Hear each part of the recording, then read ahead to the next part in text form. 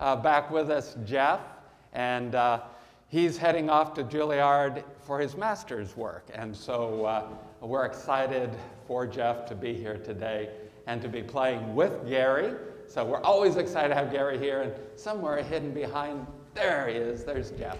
So thank you to our music folks. I do have to let you know if it seems a little warm in here, it is because the air conditioner is broken. So uh, sorry, we'll get it fixed. But for now, um, feel free to use your fans or whatever you want to do uh, just to stay as cool as you can. I figured I'd wear my black robe. If I don't pass out, we'll probably do okay. So welcome, welcome. Um, a couple announcements of things that are happening. Uh, one is we want to celebrate Gary and Winnie's anniversary, 63 year wedding anniversary. The flowers are indicative of that. So that's, that's terrific. Um, I also want to let you know I have a number of prayer concerns, and if you could add Pam Buddy, she's um, struggling with sciatica in addition to all the names that are there. We'll be praying for all those people in our prayers of the people this afternoon or this, this morning. Um, a couple other things. Yeah, good timing. We're going to be celebrating the shower that we didn't have yesterday, but we'll be gathering gifts in Fellowship Hall. You'll see it's kind of festively displayed. Um, and so uh, if, if you brought a gift or, or card or something to share, and then we'll be taking those gifts to Christine and to Greer uh, and, and uh, celebrating with them uh, well, for Greer and Colby, uh, hopefully their new baby will be coming home on this afternoon if all continues the way it's been going. So that's good news. And Christine and Emmanuel are doing okay. Christine's uh, contractions have slowed way down. So that's really, really good. So we're thankful for that. So, um, so do keep praying for Christine and for Greer and them, but uh, we'll be celebrating a little bit in our fellowship hall um, for, for, uh, for our gathering. Um, the pictures that are in your bulletin are all pictures, and I'll be talking about this in the sermon, but they're all pictures from the First AME feeding ministry this past week, and we had nine of our people and three of our young people included uh, in that feeding ministry. So we'll be talking a little bit about that and celebrating that. I want to let you know Sunday school is starting back on the 11th of September, and we'll be having our church picnic on that day. So mark that date on your calendar. And we're going to be doing something kind of fun. The curriculum we're using for adults and for youth and for children will all be the same curriculum. It's called Follow Me, Jesus, biblical practices for faithful living. And we'll be exploring in a number of different ways what it means to be a follower of Jesus Christ, which seems like a great thing for us to, to do. And if you can't make any of the Sunday school classes, we'll be also looking at those same topics from a different angle in worship each Sunday. So we're going to try to tie all this thing, these things, worship, Christian education, all together. Um, so that'll be kicking off on 11th of September. But today, we're, we're going to have the first ever uh, Heritage Pickleball Tournament. How many people know how to play pickleball? Perfect. It's a great learning opportunity. I have never played, but I've watched all sorts of videos. We have a net that's going to be set up in the parking lot under the shade at 5 o'clock so if you've always been curious about pickleball, it's a two-on-two sport. It takes a lot less um, skill than tennis or all the other things we play. Um, but it's just fun. And uh, so come by, check it out, and uh, we'll be playing a little bit of pickleball at 5 o'clock in the parking lot um, coming up. Yeah, Alex. How did it break? We don't know yet for sure, but we'll find out. In here, it is 78 degrees, which is not bad considering where, where we've been. So, but you're dressed appropriately, Alex. I think you'll be in good shape. Well, let's, uh, let's pause for a moment. Take a deep breath. Center ourselves on the Christ who has called us here to worship as we prepare to worship God.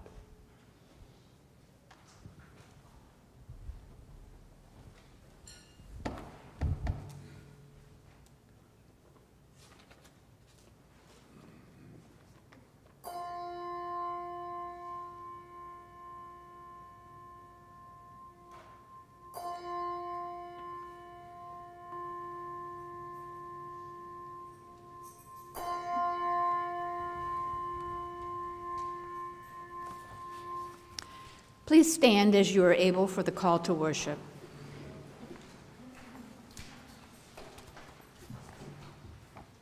Come, you that are blessed by my Father, inherit the kingdom prepared for you. For I was hungry, and you gave me food. I was thirsty, and you gave me something to drink.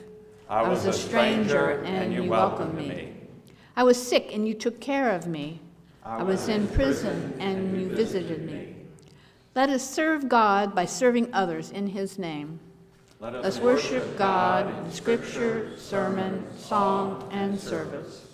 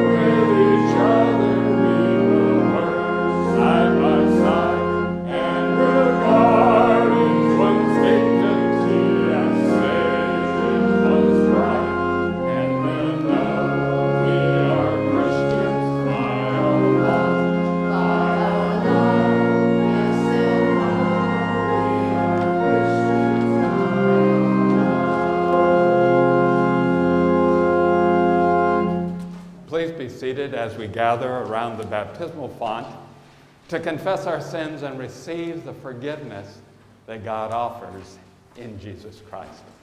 Let us share together our unison prayer. Great and gracious God, who is revealed in Jesus Christ, we give you thanks for the model of service leadership that Jesus offers. We confess that we are slow to follow, preferring authority and power over sacrifice and service. Forgive us, God, and free us to serve each other in the power of the Holy Spirit, as you have served us in Christ. Hear us as we pray silently to you.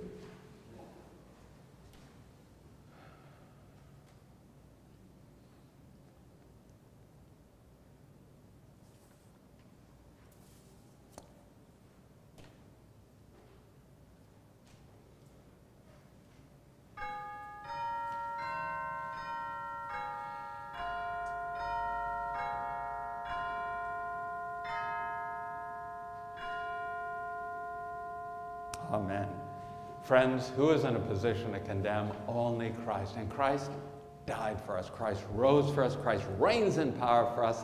And this Jesus Christ prays for us. If anyone is in Christ, that person's a new creation. Now, the old life, that's gone. But behold, a new life has begun. Friends, believe it. It is the gospel. In Jesus Christ, we are forgiven. Hallelujah. We are forgiven.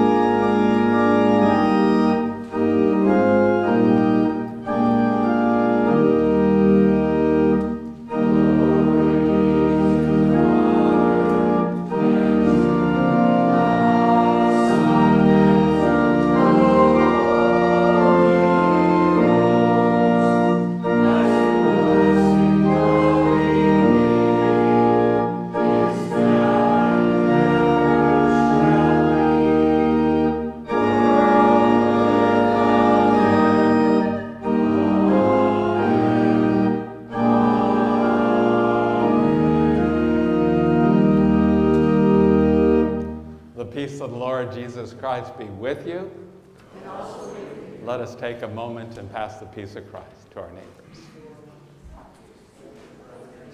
Peace of Christ be with you.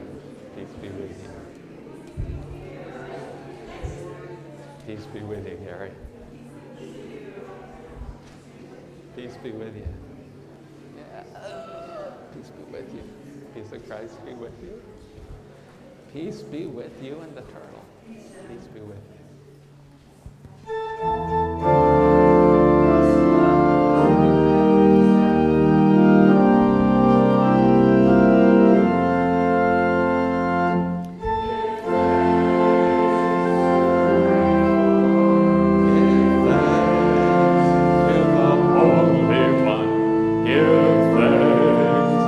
Please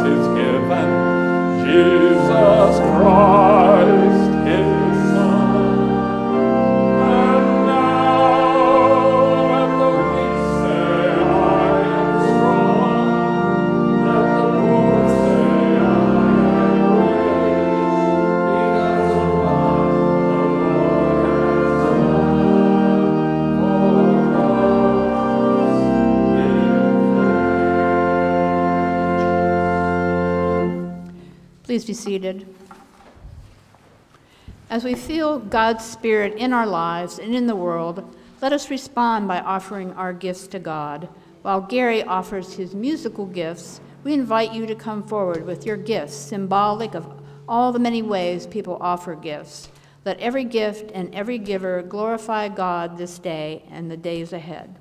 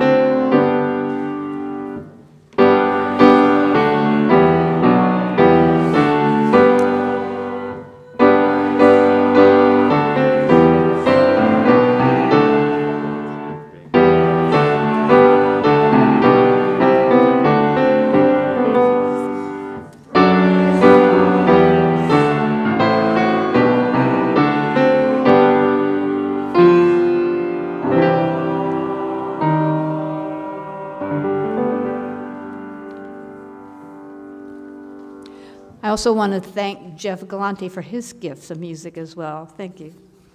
Um, let us pray together the prayer of dedication. Triune God of service and sacrifice, we come to you offering our gifts as a love offering for the great gift you offer us in Jesus Christ. Amen. Please be seated.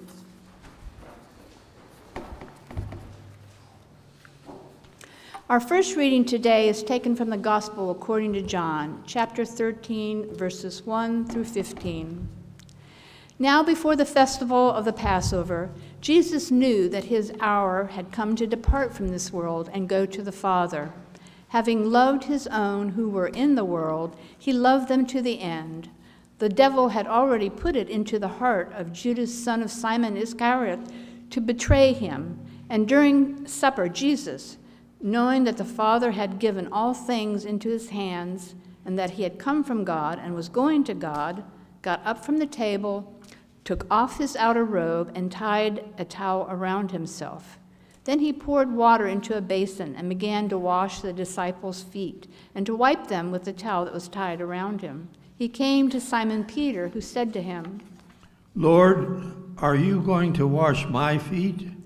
Jesus answered, You do not know now what I'm doing, but later you will understand. Peter said to him, You will never wash my feet. Jesus answered, Unless I wash you, you have no share with me. Simon Peter said to him, Lord, not my feet only, but also my hands and my head.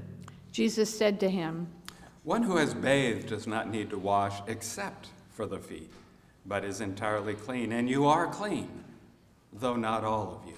For he knew who was to betray him. For this reason he said, Not all of you are clean. After he had washed their feet, had put on his robe, and had returned to the table, he said to them, Do you know what I've done to you? You call me teacher and Lord, and you're right, for that's what I am. So if I, your Lord and teacher, have washed your feet, you ought to wash one another's feet. For I've set you an example that you should do as I have done to you. The word of the Lord. Thanks, Thanks be to God. I want to invite the children to come forward for the children's message. And we'll gather right here at the front pew.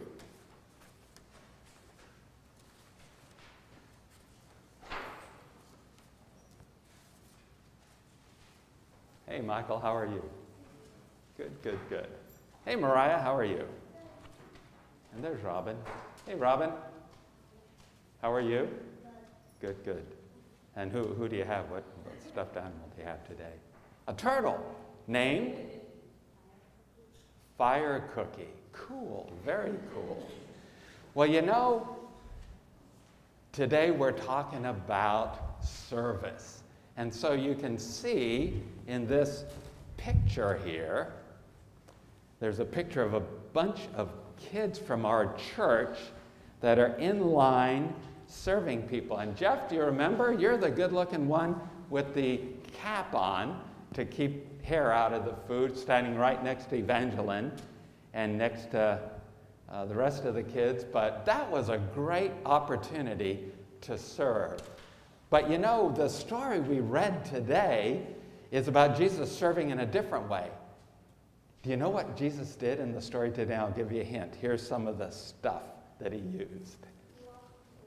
He washed people's feet. He took off his robe and he washed people's feet. And do you have any idea why people need their feet washed in Jesus' day? Yeah? They were dirty, exactly. They would be wearing sandals. Like you guys all have covered shoes and socks and everything. But no, they would have sandals.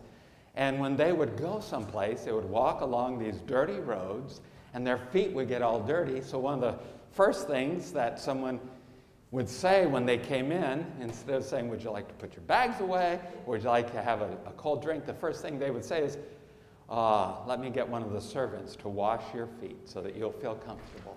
Wouldn't that, wouldn't that be fun to do? Weird and fun. Well, I figured it would be too weird to do, but I thought, you know, when we get ready to eat, what do we wash? We don't wash our feet. What do we usually wash? Hands. So, what I thought here is a towel for you. Here is a towel for you. Okay. And here is a towel for you. And we're just going to have a chance to wash your hands. So if you just hold your hands out, this water is nice and warm. Okay. And then if you want to dry it with that towel, that'd be great. There you go, Robin.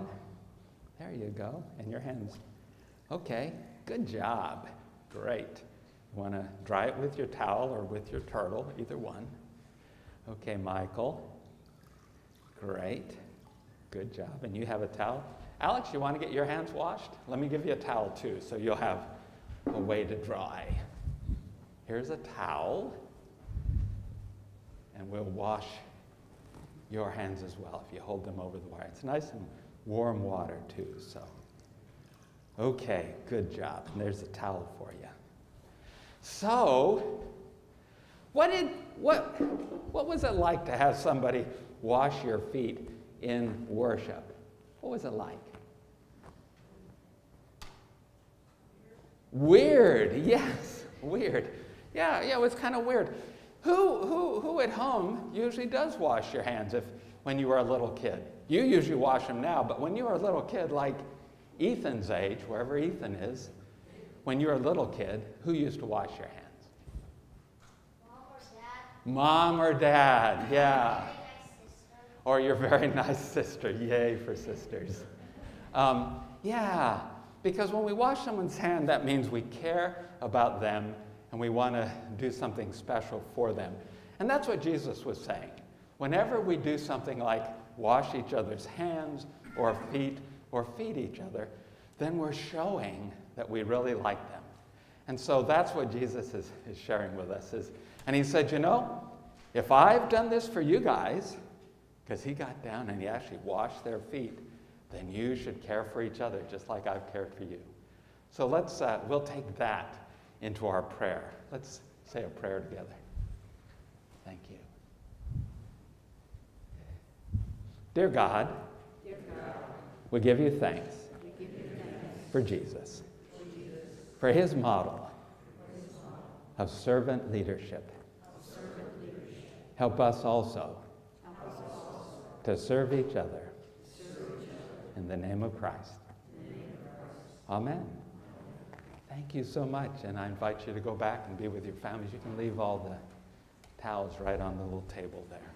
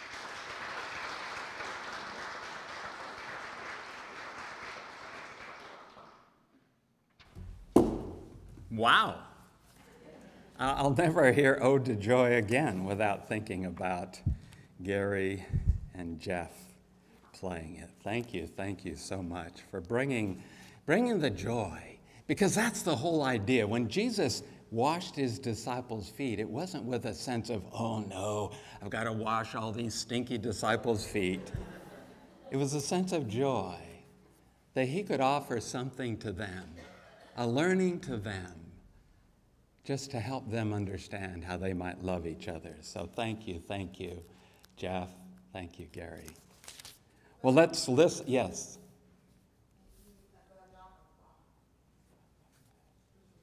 We're good. Good, good. So today I want to read from Isaiah, Isaiah 58. And we're reading Isaiah 58, 6 and following. And this is a reminder that this whole idea of service didn't just pop up with Jesus, it was really there in the preaching of the prophets in the name of God. So, this is what Isaiah says Why do we fast, but you don't see? Why humble yourselves, but you do not notice? Look, you serve your own interest on your fast day and oppress all your workers. Look, you fast only to quarrel, to fight to strike with a wicked fist. Such fasting you do today will not make your voice heard on high. Is such the fast that I choose? A day to humble oneself? Is it to bow down with the head like a bulrush and lie in sackcloth and ashes? Will you call this a fast, a day acceptable to the Lord? Is not this the fast that I choose?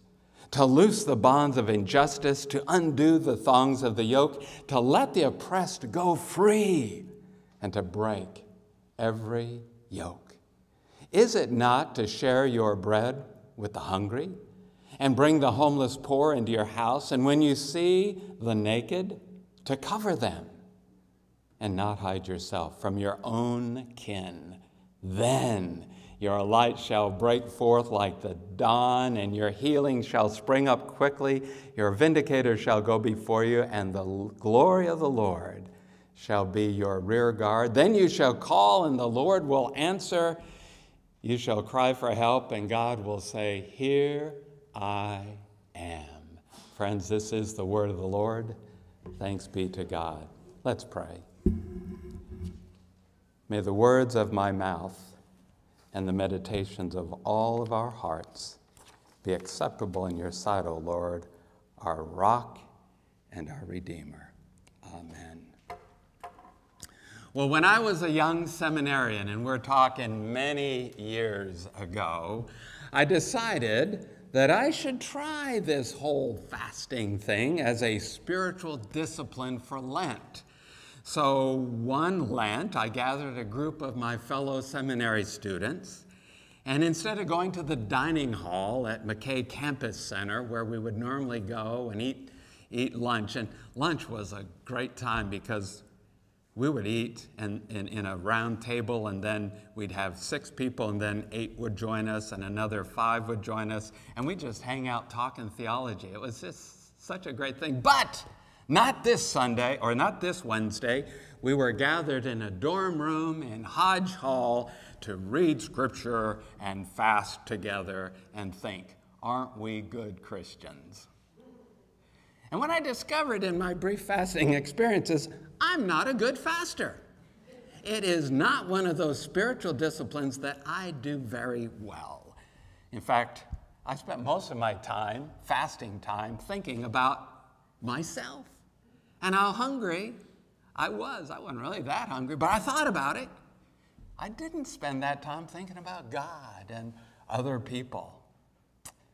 I think I was more interested in telling people that I was fasting than I was actually listening to God. So when I read Isaiah, I could completely understand when God says, hey, if you just think you're doing this fasting to please me, think again. I know there are people for whom fasting is a strong and a good spiritual discipline who can turn their face to God and their ears and their heart to God through fasting. Yay! I just found out I was not one of those because I fell into all the pitfalls that Isaiah suggests. So,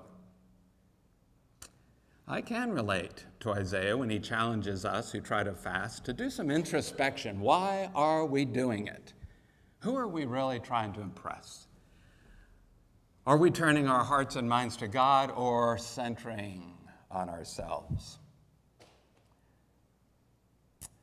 So, I don't fast anymore. And now I could, I could probably fast a couple days and I wouldn't notice.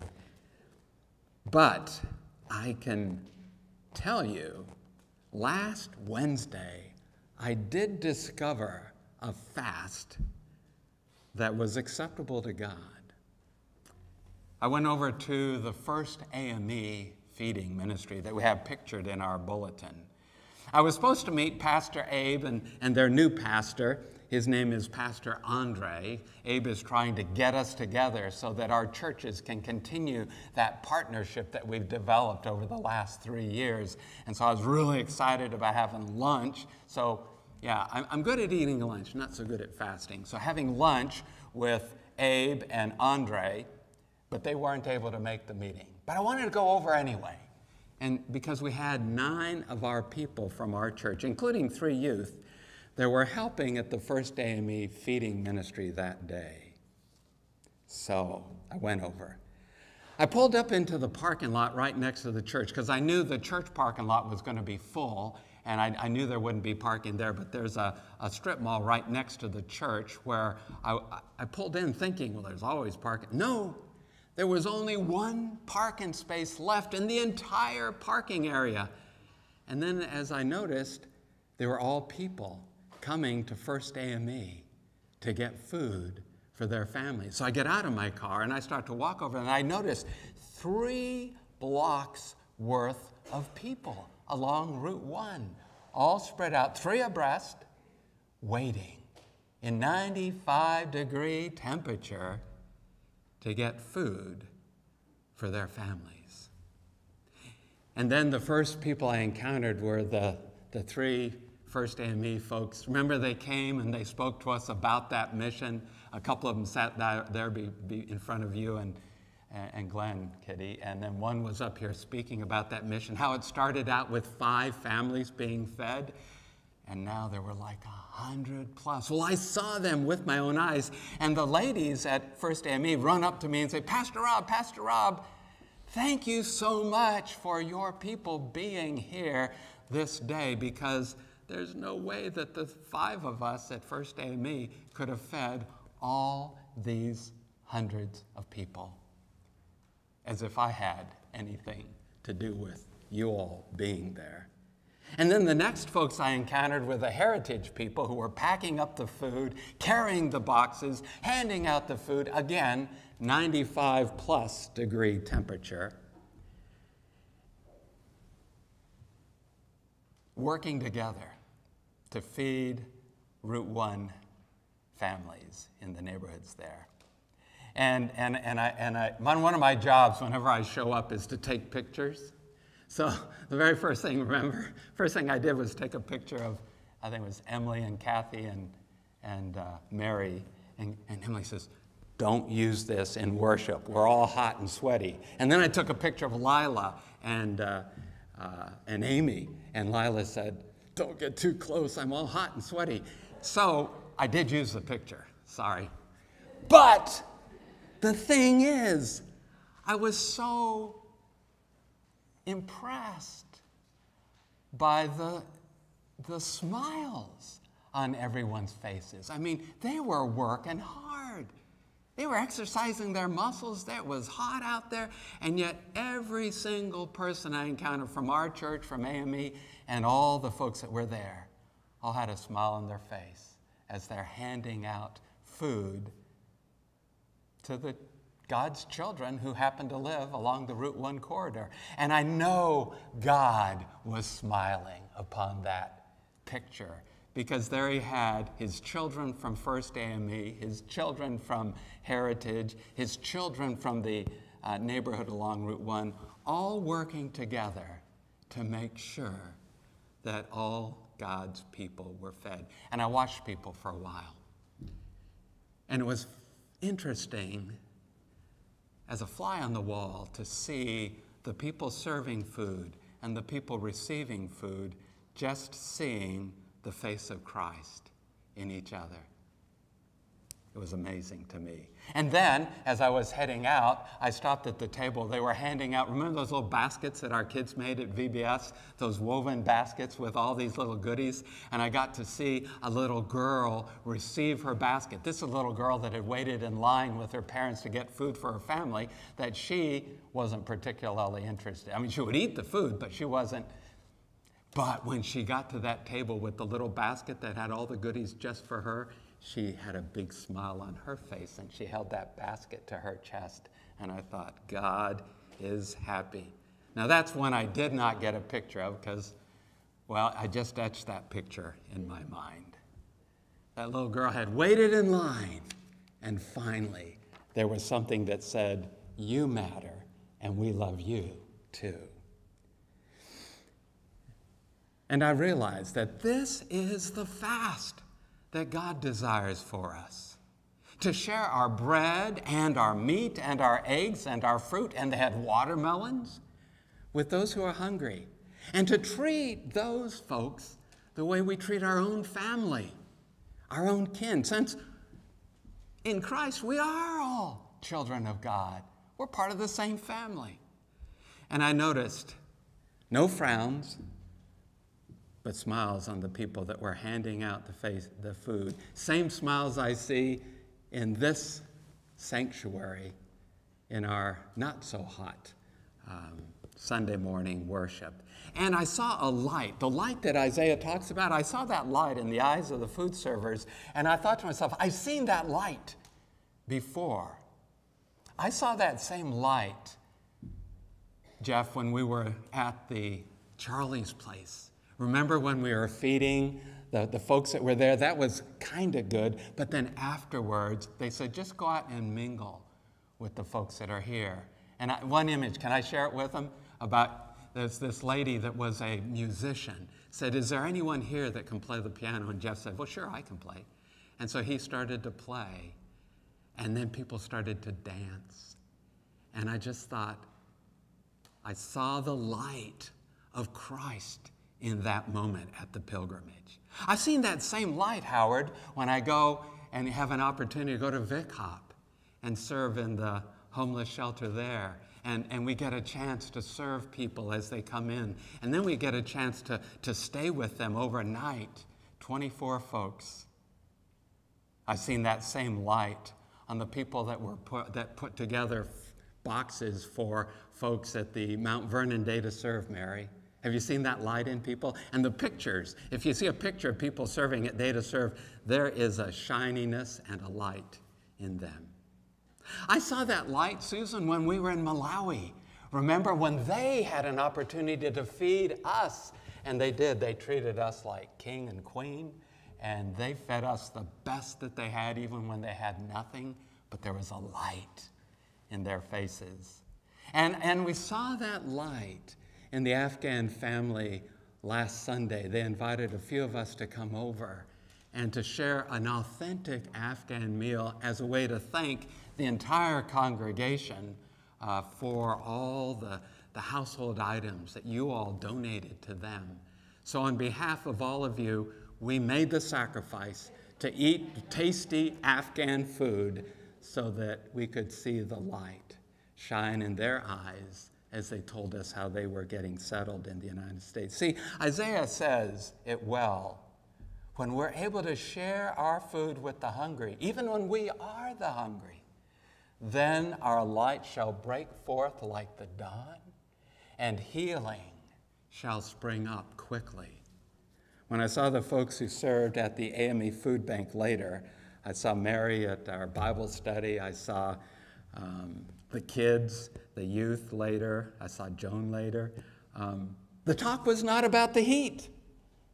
the talk was about the joy that they felt in serving. And that's what Isaiah is trying to tell us in Isaiah 58. God loves it when we share our communion meal with each other in worship service. And then God is even more excited when we take that meal that God has fed us out and give it to the rest of God's children.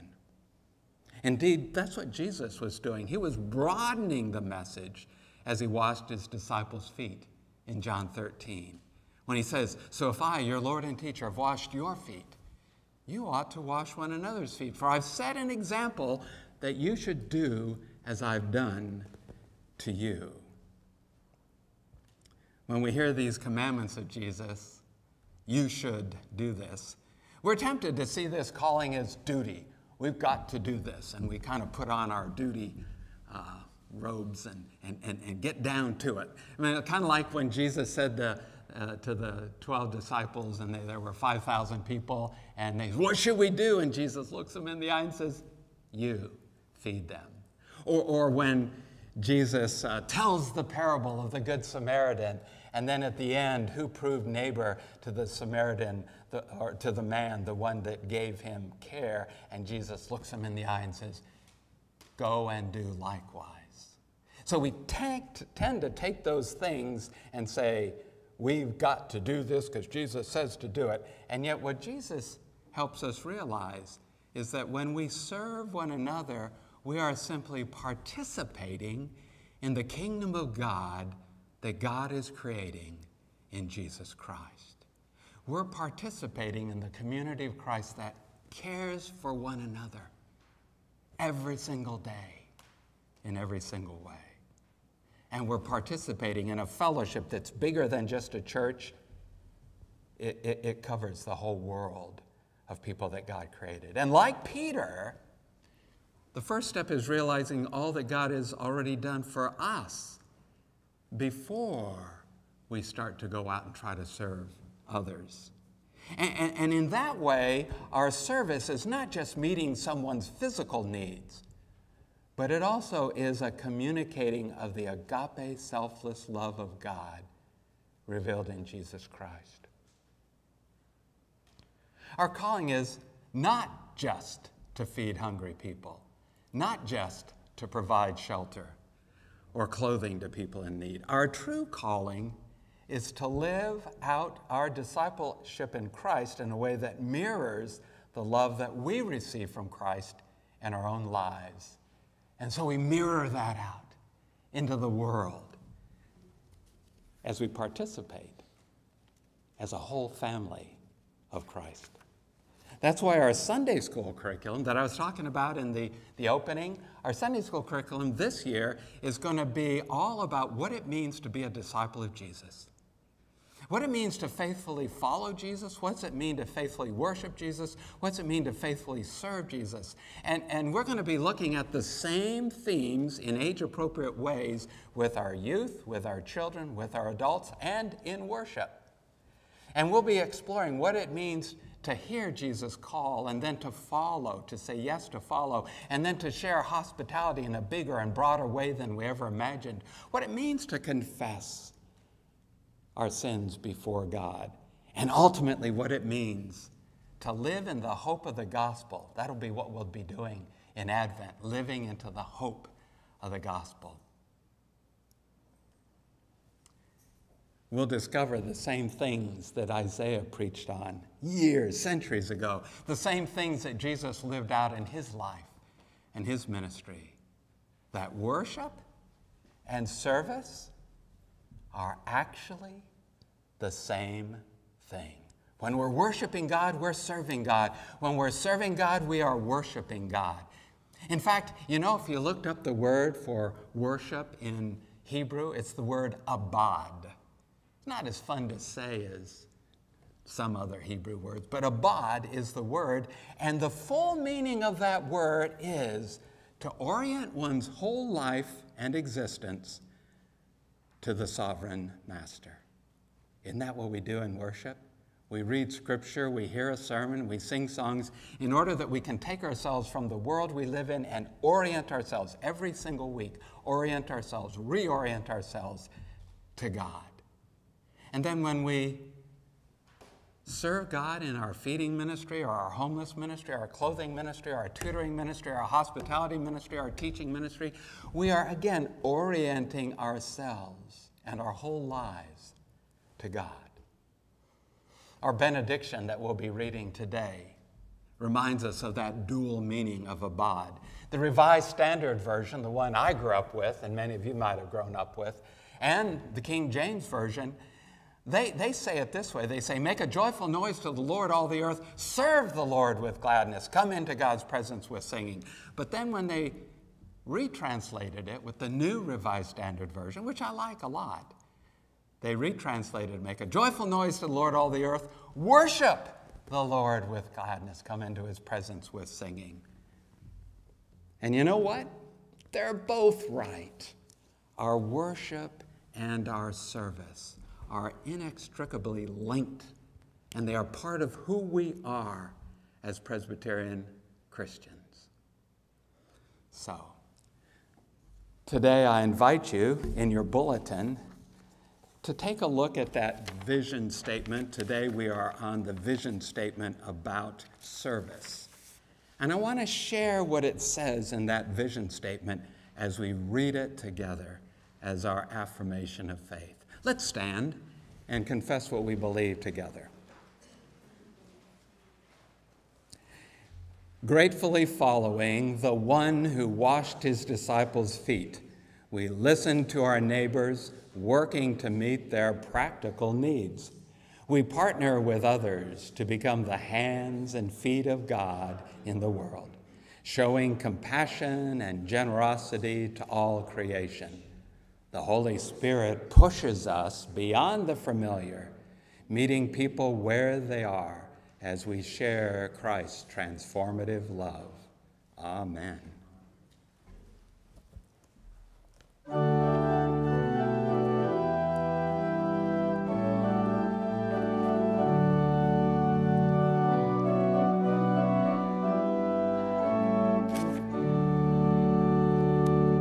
Jesu, Jesu, fill us with your love, teach us how to serve the neighbors we have from you. Kneels at the feet of his friends, silently washes their feet.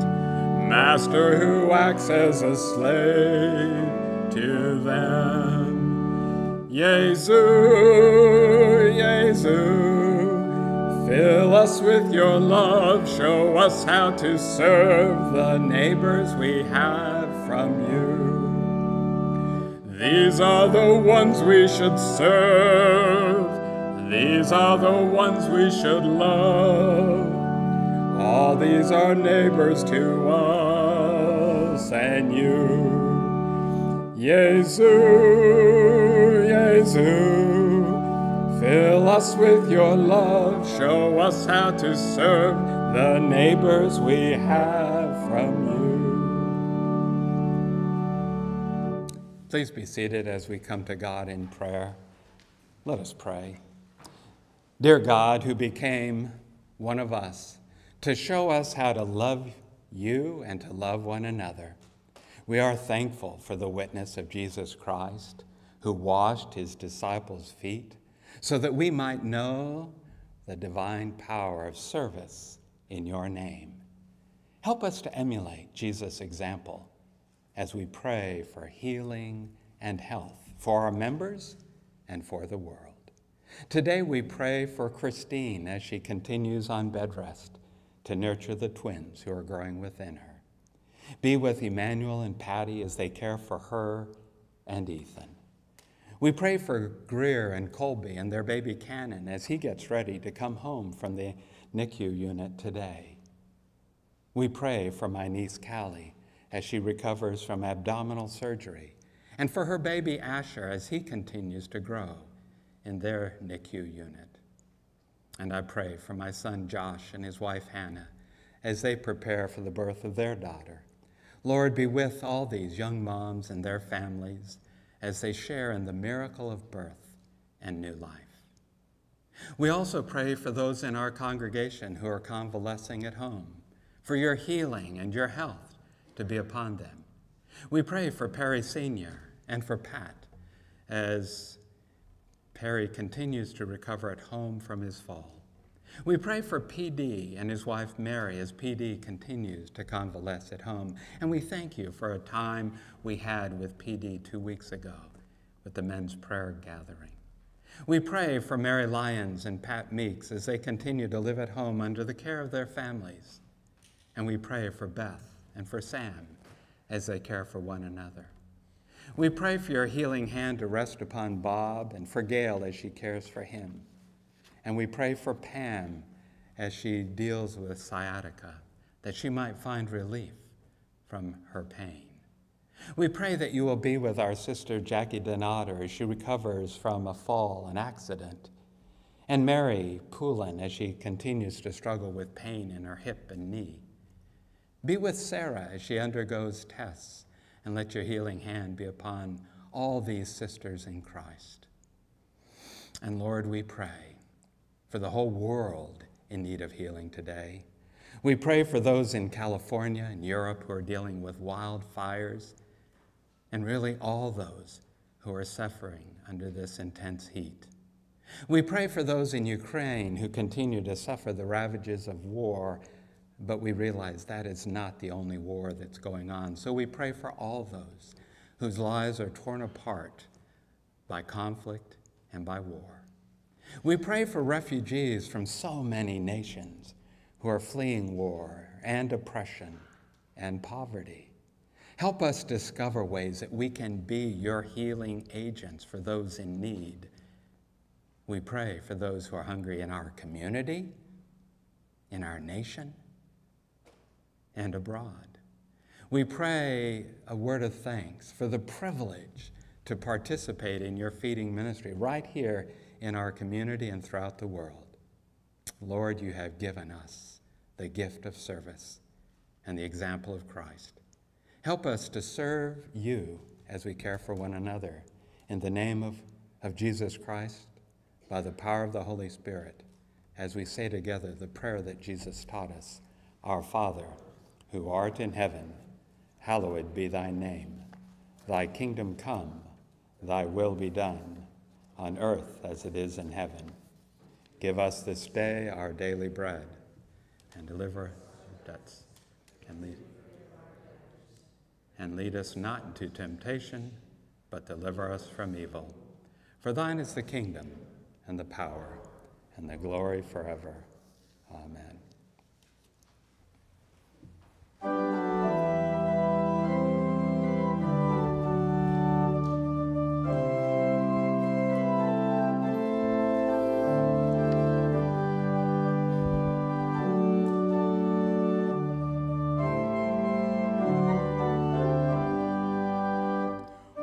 God, you are my God, and I will ever praise you. Oh God, you are my God, and I will ever praise you. I will seek you in the morning, and I will